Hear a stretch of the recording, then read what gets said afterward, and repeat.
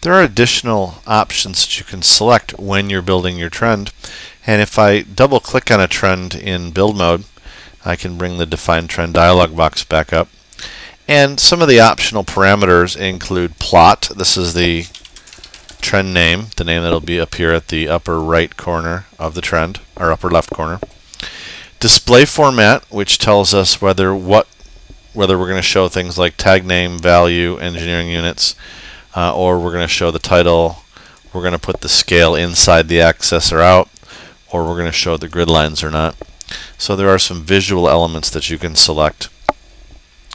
And there is trace format in which you can select any of the elements on the trend control uh, up to the first 12 pens for colors and then text, background, major and minor grids. Anything in that list you can control the color and line weight of. There's one note I'd like to make about markers. And if you look at the trends as they're drawn normally with markers off, what you'll see is occasionally on the lines you'll have these representative shapes. They're solid circles in the case of my lower trace here, and they are hollow circles in the case of the upper trend here. Those icons are set in trace format for each pen. So you'll see the first pen has a solid circle, the second pen has an empty circle, and if I were to have a third trace on there, it would have a solid diamond, and it would be uh, yellow in color. Now those are simply representative markers. If you want to actually view the values that the system is returning for these tags, you need to turn markers on. And what that will show you is the actual values in the archive that we've retrieved. So you can see my lower trace is changing much less frequently than the trace I have at the top.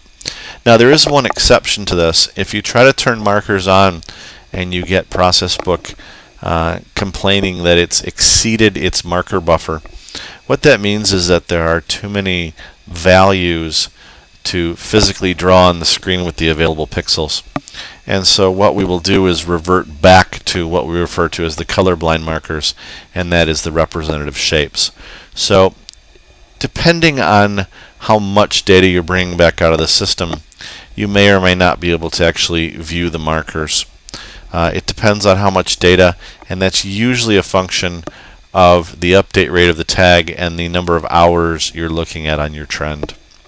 If you get that message and you really do want to see the values that were in the system, try lowering the amount of time that you're trying to look at.